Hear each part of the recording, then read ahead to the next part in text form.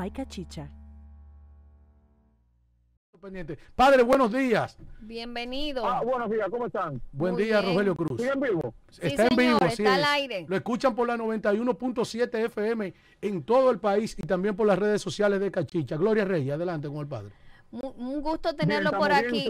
Muy bien, eh, muy pendiente de todos los acontecimientos y queremos su reacción acerca de lo que ha pasado en estos días, que hay mucho alboroto con este tema de la peregrinación del amigo Mildomio desde Villa Altagracia.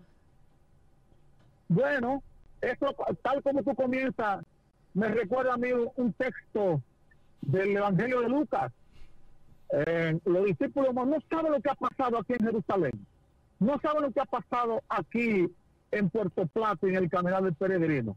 Miren, cuando son acciones así de carácter individual, una acción de carácter individual que él inició, se respetan esas acciones. Pero esas, esas acciones no tienen mucha trascendencia. ¿Por qué? Porque no pasan de ser una acción individual. Correcto. Si hubiese sido una acción colectiva que él involucra o hubiese logrado involucrar a organizaciones comunitarias, a líderes políticos, a líderes sociales, hubiese tenido una trascendencia mucho más grande. Pero eso no pasa de ahí, del show que se hizo y, y ya. Ahora bien, hay un componente religioso que es interesante. Es lo que la iglesia recoge como religiosidad popular. Correcto. Que la religiosidad popular se puso de manifiesto hasta por encima de la religión de carácter institucional. Eso tiene un simbologismo de carácter grandísimo. El hecho de que haya entrado a la catedral, de que lo saquen de la catedral, que les cierren ese espacio en Puerto Plata, por la circunstancia que haya sido. Lo mismo pasó con Jesús de Nazaret. Pues por lo tanto, cuando hay acciones así, lástima que fue una acción de carácter individual y que no fue una acción de carácter colectivo. Padre, una, una pregunta, Cuéntame. eh, Elías Cornelio de este lado. ¿Usted cree que esta, esta, este apoyo que tuvo Mildomio en, en Puerto Plata fue una especie de respuesta de la, de, de la gente a, a- a la situación que estamos viviendo, al encierro, a la, al aislamiento social? No, eso tiene dos componentes. El primer componente que tiene es que la gente necesita de un Mesías. Un salvador, de un salvador, Pero la gente necesita de alguien en este momento que sea creíble y que le diga la verdad. Todo lo que ahí no va a encontrar porque el Señor no reúne ningún tipo de condiciones, sino que, repito, reitero, fue una acción de carácter individual, una cosa que ni siquiera él lo pensó mucho. Y en segundo lugar, hay que reconocer que el pueblo está desesperado, es fruto de la desesperación de la gente. Y la iglesia, nosotros como los sacerdotes también somos culpables de eso. En, en Semana Santa lo dejamos solo a la gente y la gente tuvo, los curas se escondieron, los obispos se escondieron. Entonces, eh, necesitan, el pueblo necesita de alguien que le acompañe y que le ponga en un camino cierto, que es lo más importante. Padre, ¿ha, ha sido deficiente el trabajo de las iglesias, de todas las denominaciones, de cara a lo que se está viviendo en la República Dominicana? No, la, la, la, la- problemática es esta, es mucho más serio que lo que tú planteas.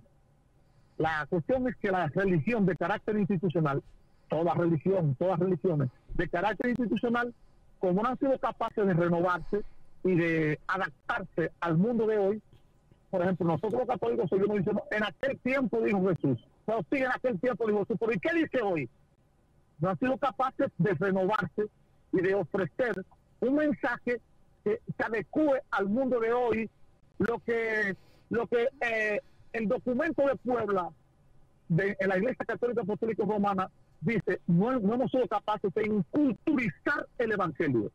El Evangelio forme parte de la cultura y pues por lo tanto eh, no tenemos respuesta para el mundo de hoy y entonces ahí está la situación, Pa- padre, una situación a- bien a- pero bien crítica y bien difícil porque seguimos hablando un lenguaje totalmente desfasado y no solamente un lenguaje sino que una cosa es lo que predicamos y otra cosa Padre, es lo que hacemos. dos cosas. Yo quiero preguntarle dos cosas puntuales.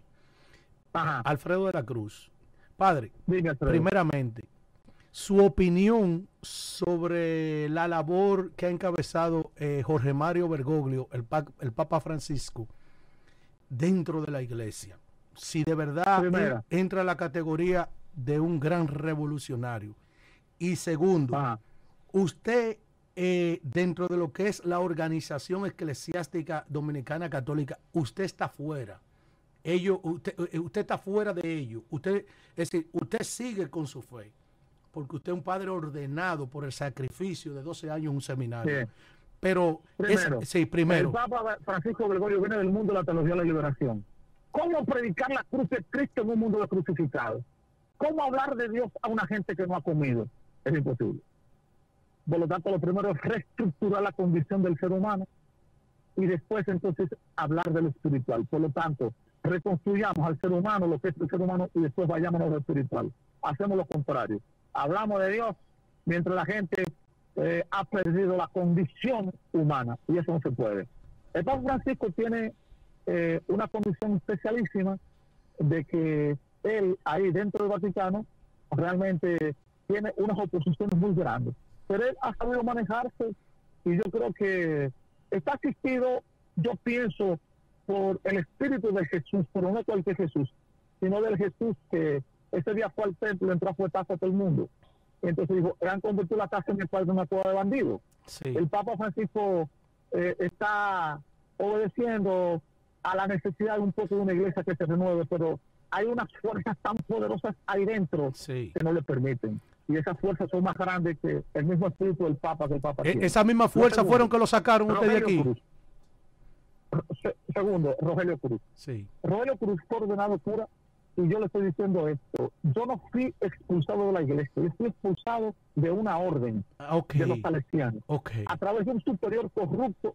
Yo estoy escribiendo un libro que se llama así mismo eh, El superior, trama de un superior corrupto. ¿Cuál es ese superior, padre? ¿Cuál es ese superior? Entonces, ¿Cómo, eh, cómo se llama el superior? estamos en esa, en esa cuestión, yo fui ordenado cura para siempre. Cuando la iglesia quite esta norma, yo dejo de ser cura. Mientras tanto, yo tengo mi ministerio aquí en Las Maras. Tenemos una experiencia que se llama mismo Iglesia del Pueblo, desde donde seguimos acompañando al pueblo en todas sus necesidades. Nuestras celebraciones, tenemos la misa. Ayer, por ejemplo, vi una señora a confesarse, una viejita, ay, Rogelio, tengo ya tres meses, y venga. Y lo que me trajo fue 200 pesos para la confesar. Y dije, doña, por eso mejor compro lo de arroz de bichuela, Ay, usted lo necesita más que yo. Pa- Entonces, es una cosa totalmente diferente lo que estamos viviendo, por lo que decía anteriormente. El, eh, el evangelio debe ser inculturizado y, pues, por lo tanto, seguimos con nuestra acción en beneficio, una acción religiosa en beneficio de la gente de los más pobres, tal y como hizo Jesús. Bien. Nuestra iglesia no hay sillas, son unos troncos que tenemos. Sí. Vengan para que vean. Sí. Vamos padre, para allá, vamos para tenemos allá. que hacer un programa Sí, desde de allá. la Vamos para iglesia allá. de, Padre, de Rogelio. Finalmente un mensaje a la sociedad Ay, dominicana. finalmente, porque yo tengo entrega aquí. Sí, oiga, 8 y 8 de la mañana, un mensaje a la sociedad dominicana que lo necesita de un hombre como usted, trabajador por demás. Vamos a ver. En primer lugar, aquí hoy en La Vega renovamos todo. Yo tengo una fila aquí a un brazo de distancia, todo el mundo con mascarilla, con guantes, y hay entregas de los kits de alimentación hoy y mañana a 250 familias que han sido seleccionadas, que no reciben ayuda de ningún tipo del gobierno, ni la tarjeta de solidaridad, ni quédate en tu casa. Y nosotros lo hemos detectado, lo hemos buscado más de 15 barrios de La Vega y estamos en ese trabajo en beneficio de los que no están recibiendo nada. Gente, el mundo ha cambiado. Sí. La naturaleza nos está enviando un mensaje totalmente diferente. Es necesario que volvamos a nosotros mismos, que volvamos a una espiritualidad. El ser humano necesita, necesita de una espiritualidad que renueve la condición de la sociedad, del mundo, de las iglesias. Si no nos renovamos, no seremos parte de todo esto nuevo que está surgiendo. Es necesario que nos surjamos y que nos renovamos. Y después, señores, no perder la esperanza. Dios renueva todas las cosas y en la persona de Jesús lo dijo, haré cielo nuevo y tierra nueva donde habite la justicia. Ojalá que eso sea posible. Amén, amén. Gracias. Amén, Padre. Bien, gracias. Tu mañana. By Cachicha.